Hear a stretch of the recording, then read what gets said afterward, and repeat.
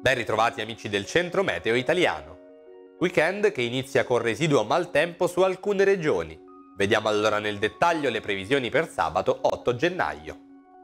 Molte nuvole al mattino con piogge e acquazzoni sparse sulle regioni del sud, neve oltre i 900-1400 metri sui rilievi, asciutto con ampie schiarite al centro-nord.